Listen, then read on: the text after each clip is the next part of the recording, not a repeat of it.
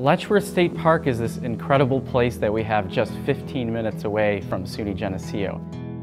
600 foot cliffs, major waterfalls, it has over 800,000 visitors per year.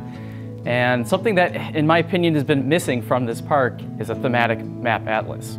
Thematic Map Atlas is a collection of maps that map different aspects or themes related to the park. So I'll be mapping its physical geography, its geology, its natural ecological communities. I'll also be looking at its human history. It has a rich history of Native American settlement. So the main piece of software that I'm using to create over 100 maps on Letchworth State Park is Geographic Information Systems software, or GIS software.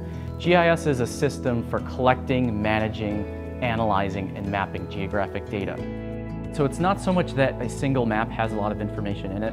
Geographic Information Systems software makes it easier to create many maps that are more consistent, that have this similar style to them. It makes it easier to manage data as well. Students who have taken courses in GIS here at SUNY Geneseo will have the opportunity to help out with this project through class projects as well as through directed studies. This is really cool thing to be able to do in undergrad because it got you real life experience. Like I learned a lot of GIS skills and data collection skills that I can now use for the rest of my life and in my career and maybe grad school too. I know so much more about the park now than I did before and I can be hiking or driving through the park and be able to say, oh, that shelter was built by the CCC in 1937. Um, and I love that. It's something that not a lot of people know and I feel really grateful to have learned so much about the park and the area. One big aspect of this project is to partner with individuals at Letchworth State Park.